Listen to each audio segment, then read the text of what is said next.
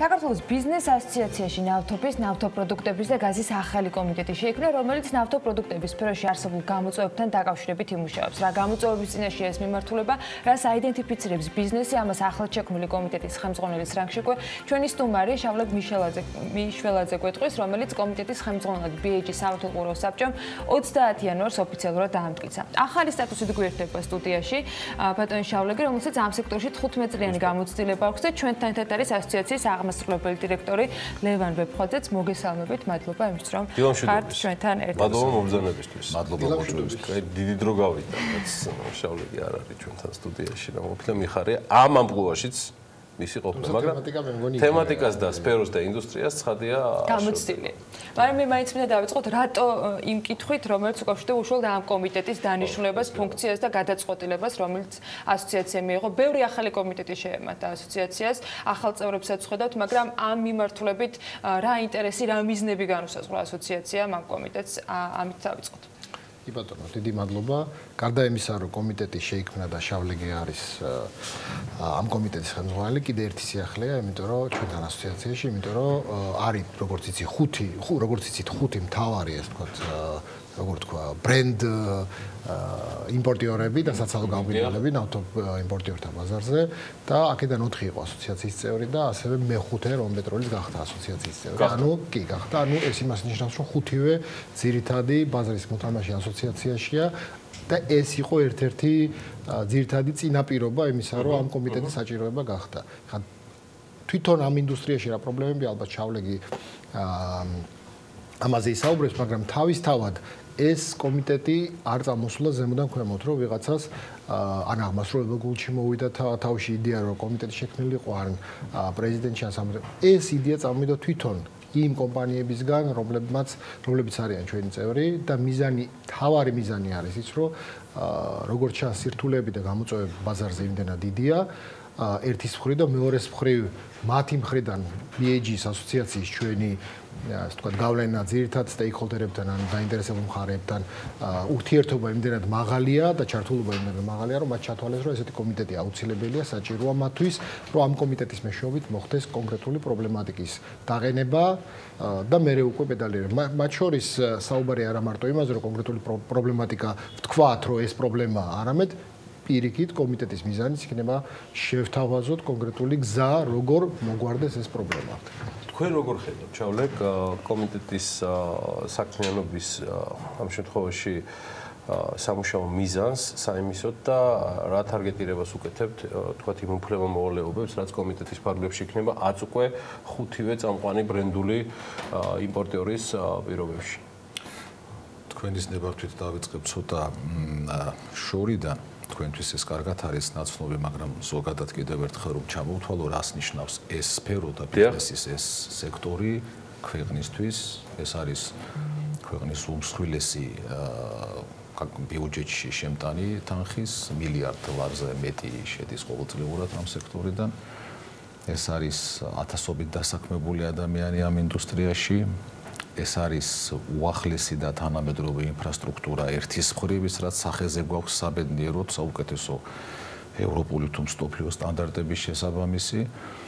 ეს არის არაჩვეულებრივი განვითარება წლიდან წლამდე დინამიური სხვადასხვა ტიპის ავტომატიზირებული პროგრამების თუ სხვადასხვა ტიპის შეთავაზებების და ასე შემდეგ. სახე გვაქვს სახეზე გვაქვს ერთგვარი სინთეზი და მართლაც ზეიმი მარკეტინგული სულების შესაბამისი კაპიტალური დანაბანდების და ასე შემდეგ.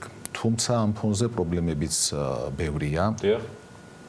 პრობლემები ბევრია თუნდაც იმ შესაშური სტატისტიკის ფონზე, რომ წლიდან წლამდე იზრდება ტრანზიტული ბანკანების რიცხვი საბედნიეროდ ჩვენმა სამშობლომ დაიმკვიდრა ადგილი ტრანზიტულ რუკაზე მათ შორის მაგალითად თუ ავიღებთ 19-ის და 18-ის შედეგებს და შევადარებთ თითქმის ორჯერ არის გაზრდილი ტრანზიტული მანქანების რაოდენობა ზოგადად იზრდება ავტოპარკი ეს სხვა საკითხია რამდენად კარგი მიმართულებით და რამდენად ხარისხიან ავტოპარკზე ვსაუბრობთ შესაბამისად მივიწევთ ეტაპობრივად ხარისხიანი საწვავისკენ, ევროპული ინტეგრაციის პირობების შესრულებისკენ და ასე შემდეგ, მაგრამ ამ ფონზე არის პრობლემატიკაც ის პრობლემები, რაც თუნდაც იგივე ინფრასტრუქტურულ საკითხებს უკავშირდება, რომ იმ საოცარი მართლაც და მასშტაბური სადგურების გვერდით, რომელიც მულტიფუნქციურია, ვითარდება.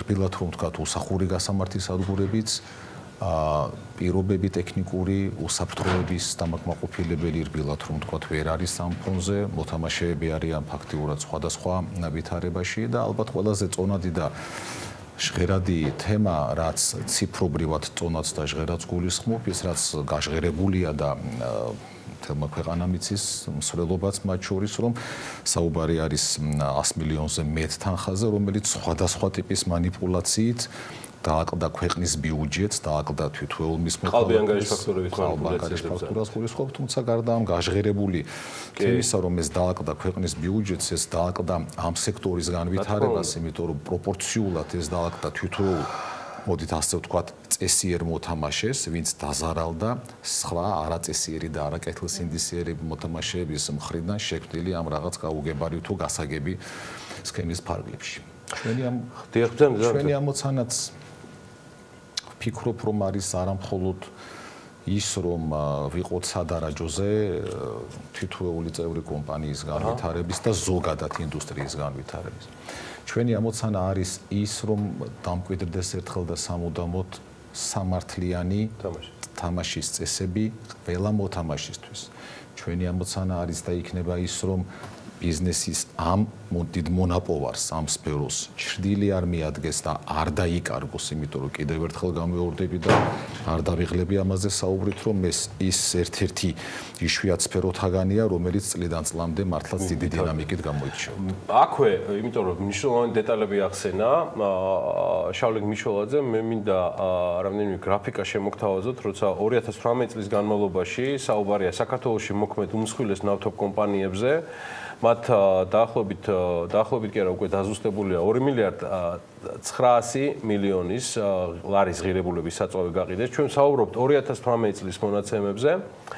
და შემოსავლების კუთხით პირველ პირველი გრაფიკა, რომელსაც ჩვენ ახლა წარმოვადგენთ, ჩვენ საუბრობთ ახლა შემოსავლების მიხედვით არის რეიტინგი დაალაგებული 2018 წლის, რომელზეც არის წარმოდგენილი 10 მოთამაშე. ეს Forbes-ის მიერ მომზადებული რეიტინგია, თუმცა ყველა მიცით Forbes-ის სტანდარტი ეხლა უკვე მსხვილად გამოჩნდება. Forbes გადაგზავნილი აქვს ეს ყველაფერი თავის პარტნიორთან Grant Thornton-თან დასადასტურებლად.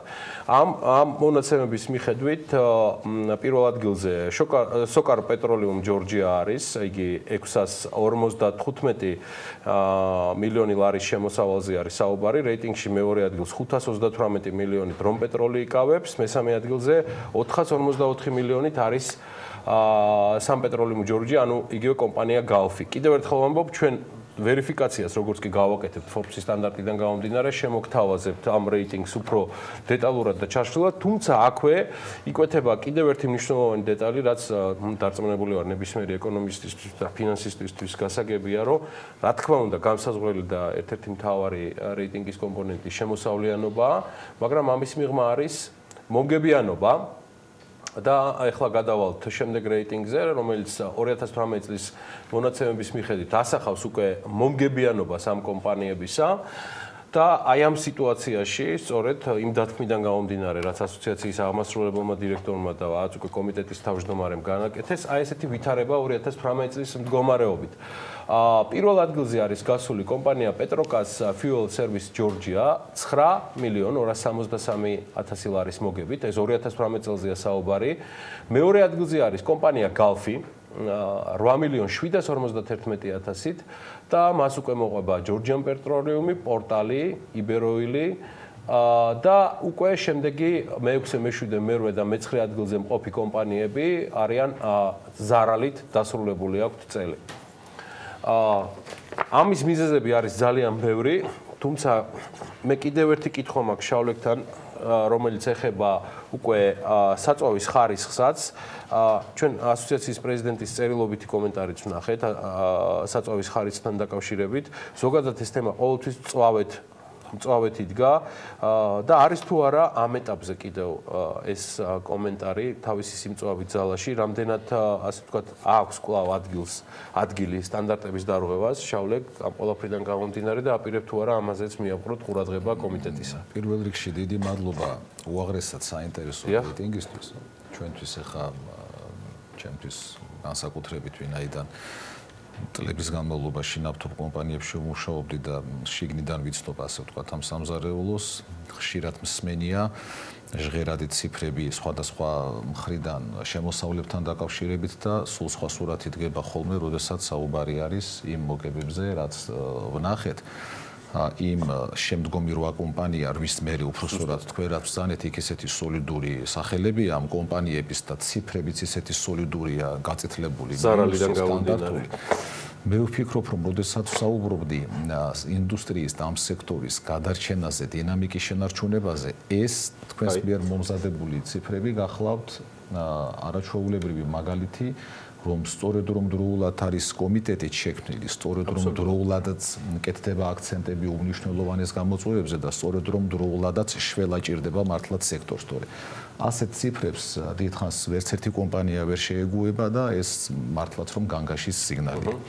ხარისხი უმთავრესად გახლავთ ჩვენი აკელევსის ქუსლი ჩვენი ქვეყნის აქელევსის ქუსლი წლიდან წლამდე. მე მახსოვს ჩემი პირველი ნაბიჯები ნავთობ კომპანიაში ეს შორეულ 2004 წელს იყო და წლიდან წლამდე მესმოდა სულ და სხვადასხვა ნორმატიული აქტები დგებოდა იმასთან დაკავშირებით, რომ ამ წლიდან გადავდივართ ამ შემდგომ სტანდარტზე და ასე შემდეგ. ერთია ზოგადად სტანდარტთან მიახლოება ქაღალდის დონეზე და ნორმატიული აქტების დონეზე. მეორეა გაცილებით რთული ამის სისრულეში მოყვანა და აკელებს ის ქუცლის დიდი ნაწილი სწორედ აქ მდებარეობს, იმიტომ რომ ზოგადად იმ ბაზით, ტექნიკურ ბაზას გულისხმობ, იმ აღჭურვილობებით, რაც გააჩნია სხვადასხვა ტიპის მაკონტროლებელს. იმ ზოგადად გნებავთ დაფინანსებით და იმ ინფრასტრუქტურით, რაც არსებობს, ხარისხის კონტროლი რბილად რომ ვთქვათ, ძალზე რთულია და ხშირ შემთხვევაში ისევ იმ მოთამაშეების იმედზეა, იმედის ანაბარად არის, ვისაც საკუთარი ლაბორატორიები აქვს და ვინც სხვადასხვა ტიპის პორტატული თუ მოძრავი ლაბორატორიით თვითონ ამოწმებს ხარისხს, რომ მომხმარებელი არ შეიყვანოს შეცდომაში და თავისი რეპუტაცია არ დააზარალოს. მე ვფიქრობ, რომ ის შესაძლებლობაც უმეტესად მსხვილ იმპორტიორ კომპანიებს აქვს და ბრენდირებულებს, რომლებიც დღეს საკმაოდ ძვირადღირებული სიამოვნება გახლავთ, მაგრამ გარდა ძვირადღირებული არსებულისა და მატერიალური ფაქტორისა აქ არის ნების არსებობის თემა, იცით?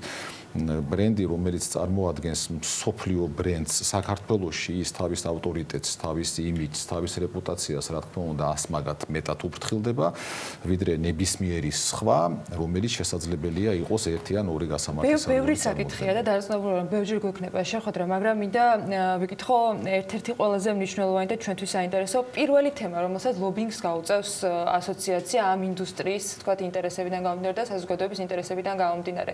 რა იქნება და ორივეს პასუხი მინდა მოვისმინო, რაზე იქნება თქვა პირველი კომუნიკაცია თავრობასთან, აღმასრულებელ ხელისუფლებასთან, საკანონმდებლო ხელისუფლებასთან, რაშიც ასოციაცია საკმაოდ აქტიურია ხოლმე. პირველ თემას ჩემი გადასახედიდან ზოგადი სახელი ერქმევა.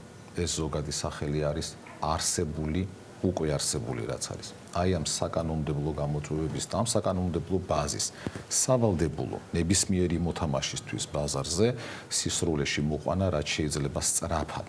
როდესაც ამას ვამბობ, გულისხმობ ყველაფერს დაწყებულს ტექნიკური რეგლამენტები და სხვადასხვა ტიპის არდაგლით ჩამოსვლით უამრავი ნიუანსია, დამთავრებული ისეთი მნიშვნელოვანით, როგორიც არის მშენებლობის ნებართვები, რეგულაციები ამ სფეროში, იმიტომ რომ არ შეიძლება მაგალითისთვის ახლა თქვენს გადაცემაში გუშინ წინ თუ სწორად მახსოვს ტურიზმზე ქონდათ სასარგებლო კარგი სასიამოვნო აქცენტები ყველას გვიხარია მზარდი ტრენდი ყველას გვიხარია რომ დინამიკა კარგია. არ შეიძლება ავტობანის გასწრებ არსებობდეს ახალგახსნილი სადგურები მაგალითად სოკარის და ვისოლის იმერეთში რომ გახსნეს თერჯოლის მიმდებარედ თვალსაც ახარებს და რა ვიცი ესე იგი ნებისმიერ ქვეყანას დაამშვენებს და იმავდროულად ახლო-მახლო არსებობდეს სადგური რომელიც ასევე იმ პერიოდში გაიხსნა ან ცოტათი ადრე ან ცოტათი გვიან გაიხსნება და ეს არის ყველაფერი იმ ნორმატიული ბაზის დარღვევით რაც არის.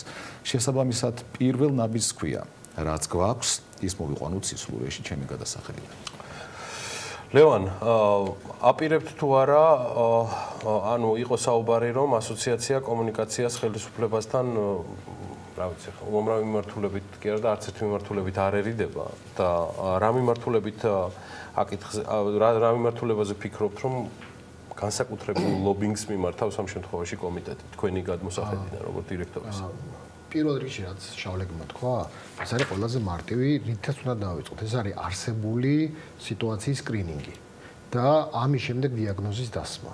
ბუნებრივია თუ კი დიაგნოზი გვეცოდინება, მე უკვე მთავრობასთან კომუნიკაცია გამარტივდება იმ კონკრეტულ რეცეპტებზე, რომელიც ამ დიაგნოზისთვის აუცილებელია რომ უმკურნალოთ, ხო? შესაბამისად, პირველი რაც შავლეგი ალბათ უახლოეს ერთ თვეში კომიტეტი წარმოადგენს ასოციაციის წევრებთან, განსაკუთრებით იმ კომპანიებთან, რომლებიც არიან ამ ინდუსტრიაში ჩართული, იქნება სწორედ აი ამ ტიპის სკრინინგი და კონკრეტული სავარაუდო შეთავაზებები, რომელიც მე ვფიქრობ აუცილებელია, იმიტომ რომ აქ ეს ბაზარი ორი კომპონენტისგან შედგება, ერთი არის იმპორტი და მეორე უკვე საცალო გაყიდვები. ამ კუთხით ორივე მიმართულებით არის პრობლემები, ახლა შავლეგი ლაპარაკობდა საცალო გაყიდვებზე, სადაც არანაირი სტანდარტი არ არის, უბრალოდ სტანდარტი როგორ არის, უბრალოდ ვიღაცა იცავს და ვიღაცა არ იცავს. არსებობს ასევე იმპორტის საკითხები, იმიტომ რომ ამ იმპორტმა თქვენ გახსოვთ რა გამოიწვია 2019-ში და ჩვენ 2018 წლის რიცხვები ნახეთ 2019-ში ეს რიცხვები თავიდან ბოლომდე გადაყირებული გადმოყირებული იქნება და 2019-ის რიცხვები რო ნახოთ ალბათ თქვენ ობიექტურ სურათი ვირას აკეთებდა როგორ აკეთებდა ვერ შეგექნებათ გამომდინარე იმ სქემებიდან თაღლითური სქემებიდან რაზეც შავლეგი საუბრობდა და რაზეც ჩვენ ყველამ კარგად ვიცით შესაბამისად აქაც იმპორტთან დაკავშირებით რომ მომავალში მსგავსი სქემები არ განმეორდეს რაღაცა გარკვეული შეთავაზებები იქნება. და მე ვფიქრობ, რომ ეს ორივე მიმართულება არის მოსაწესრიგებელი, რაზეც კომიტეტი მუშთავარია მეორე მხრიდან რა დონეზე იქნება მზაობა. მე მგონია, რომ 2019 წელმა იმპორტის კუთხით აჩვენა, რომ ყველამ დაინახა მათ შორის, თავრობამ დაინახა, რომ ამ სფეროში, იმპორტის სფეროში გარკვეული წესრიგი ალბათ დასამყარებელია, რაც შეეხება მეორე მხარეს. მეორე მხარეს თუ აქ უკვე ლაპარაკი ადამიანების ჯანმრთელობაზე, უსაფრთხოებაზე, გარემოზე, სადაც ჩვენ ცხოვრობ და ამ კუთხით ეს საკითხი თუ არ მოგვარდა, ეს იქნება ძალიან გრძელვადიანი პრობლემა ქვეყნისთვის. მადლობა ლევან, მადლობა ლევან ვეფხვაძეს, ამ შემთხვევაში საქართველოს ბიზნეს ასოციაციის აღმასრულებელ დირექტორს, იმ გადაწყვეტილებისთვის ჩვენ კიდევ ერთი ახალი სტატუსიდან გამომდინარე, გაგვიაქტიურდება კიდევ ერთი საქმიანი რესპონდენტი შავლე მიშველაძის სახით. დარწმუნებული ვარ ის ამ არენასაც აქტიურად დაუბრუნდება. მადლობა წინასწარ შავლექს საქართველოს ბიზნეს ასოციაციის ამჟამად უკვე ნავთობის, ნავთობ პროდუქტების და გაზის კომიტეტის ხელმძღვანელის სტატუსით.